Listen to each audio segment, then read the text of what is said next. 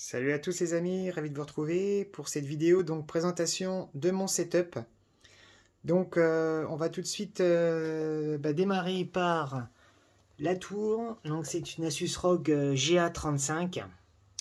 la carte graphique c'est donc une, RTX GeForce 3070 8 Go et le processeur c'est un Intel i7 11700KF. Donc autant vous dire qu'au niveau qualité graphique, euh, ben, c'est vraiment euh, le must. Euh, franchement, je suis vraiment ravi de mon achat. auparavant, j'avais une RTX 2070, bon, qui faisait quand même bien le taf. Mais là, au niveau qualité image, voilà, c'est quand même autre chose. Donc voilà pour la, présentation de la tour. Donc on, ben, on peut régler pareil, hein, tout ce qui est lumière à l'intérieur, tout ce qui est RGB, tout ça c'est réglable. Voilà.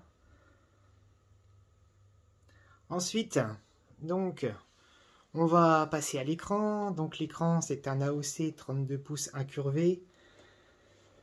Hum, donc euh, pareil, super écran euh, avec un ms et 144 euh, Hz. Donc pareil, hein, très très bon, très très bon écran. Ensuite, donc ça, je viens de l'acquérir aussi. Donc ça, c'est mon nouveau clavier Corsair K57. Pareil, RGB. Donc on a plusieurs réglages dessus. Euh, on peut faire changer les couleurs, on peut attribuer des touches.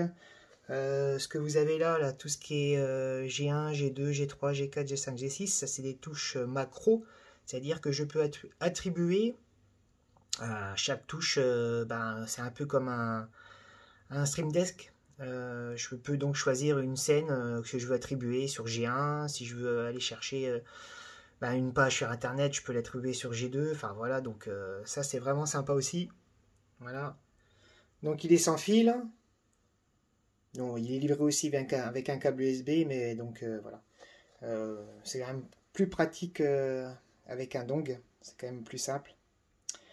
Ensuite, la petite souris à côté, donc c'est une SteelSeries.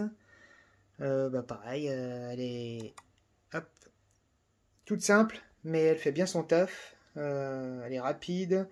Elle est, voilà, elle on, la manipule vraiment, euh, vraiment très, très simplement. Euh, ouais, puis au niveau rapidité, voilà, elle fait bien son taf aussi. Donc c'est la Steel Series 3 wireless. Je, voilà. Mais je vous mettrai voilà, toutes les toutes les indications en dessous. Voilà.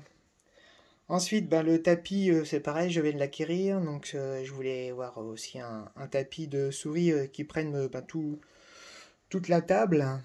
Donc voilà, ben, c'est un Asus ROG. Hein. je l'ai pris en fonction aussi de la tour.